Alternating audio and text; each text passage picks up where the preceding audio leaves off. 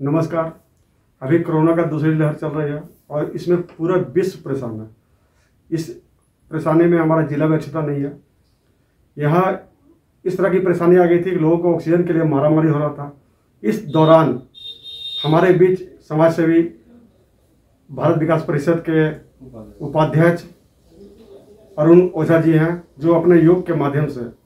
हाँ सर ये जो कोरोना महामारी में जिस समय लोग ऑक्सीजन के लिए पूरा मारामारी कर रहे थे या बेड की जिनके पास बहुत दिक्कतें आ रही थी, इस दौरान जैसा हम लोग को पता चला कि आपने काफ़ी लोगों को मदद किया। तो कैसे लोगों का आपने मदद किया और कैसे लोगों को ऑक्सीजन का लेवल बढ़ाने में आपने एक अच्छी भूमिका निभाई?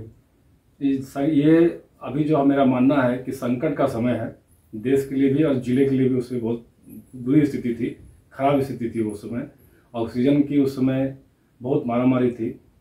लोग ऑक्सीजन के लिए परेशान हो रहे थे। कई लोगों का फ़ोन मेरे पास आता था।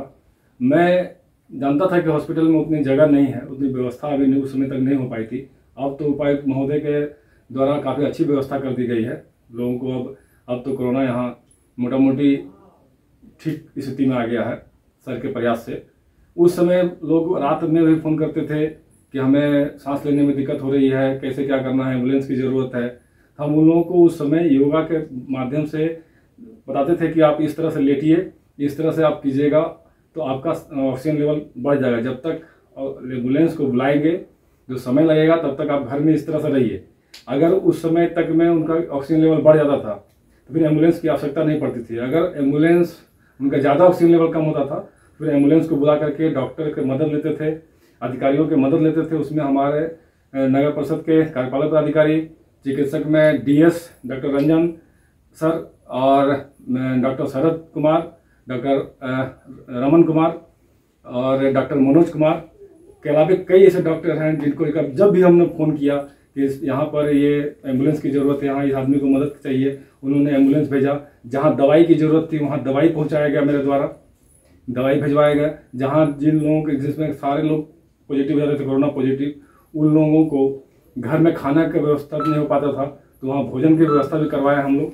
उनको प्रतिदिन जो भी हो, सांस का क्रिया, जिसको प्राणायाम बोलते हैं, उसको प्रतिदिन करना चाहिए। जितना संभव हो सके उतना करना चाहिए, जिससे कि ऑक्सीजन लेवल उनका मेंटेन रहे। लंग्स में अगर थोड़ी बहुत परेशानी आई है या कुछ खराबी आई है तो वो जल्दी जल्दी रिकवर कर जाए। तो आपने सुना कि समाज सेवी अरुण ओझा जी ने क्या बताया? आपकी जानकारी लिए बता दूँ कि एक, ये एक अच्छे योग प्रशिक्षक भी हैं, कोडरमा से अरुण बनवाल लाइव लगातार न्यूज़ अपडेट के लिए आप हमारे चैनल को सब्सक्राइब करें।